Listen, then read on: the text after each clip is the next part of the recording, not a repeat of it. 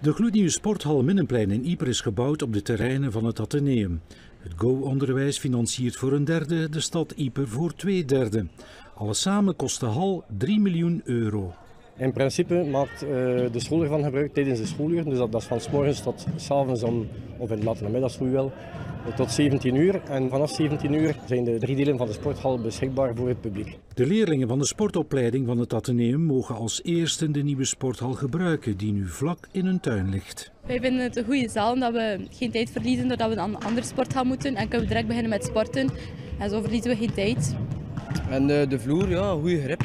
En ja, makkelijk voor veel sporten te beoefenen.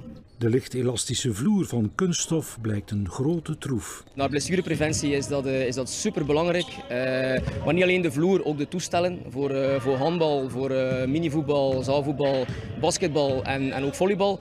Ja, zijn, zijn allemaal van heel, heel, heel degelijk niveau, van eigenlijk competitief niveau.